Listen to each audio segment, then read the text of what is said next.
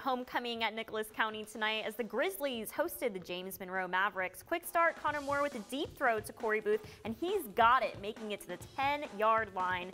Mavericks in the red zone, Moore with a throw to Grant Moeller, and he's tackled in the end zone. 8-0 James Monroe. Grizzlies Tyler Sedlock with the return, and this guy is fast. Look at him go. Tackled at midfield. Next play, handoff to Jacob Odell, and he cuts finds room and tackled all the way down at the 30-yard line. Jared Sagravis, fake handoff, keeps the ball, has space, keeps going, and he just makes it downfield and even hops over this guy right here. Wow, tackled at the 25. Next play, Sagravis would complete it to Zach Payne, and he's open. Look at that. Lands at the three-yard line. Grizzlies in the red zone.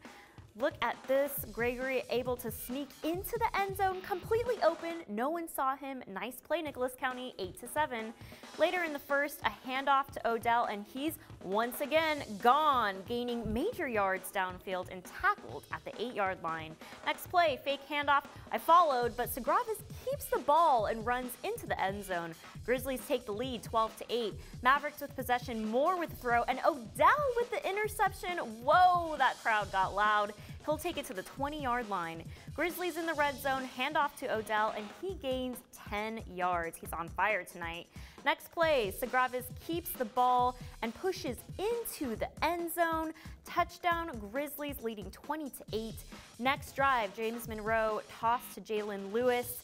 He cuts to the outside, puts the Mavericks in the red zone. Looking to score, Moore keeps the ball at one point. He made it into the end zone, so touchdown Mavericks. Final score 28 to 26. What a close game.